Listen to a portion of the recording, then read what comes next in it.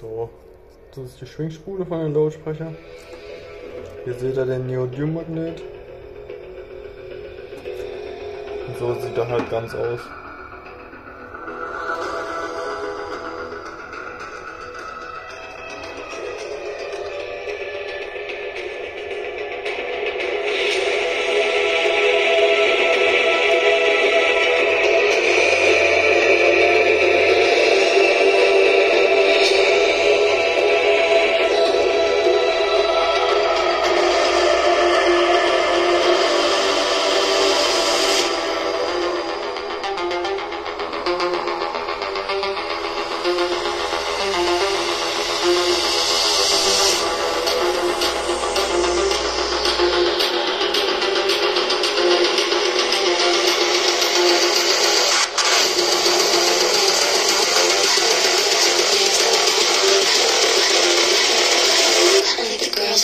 Thank you.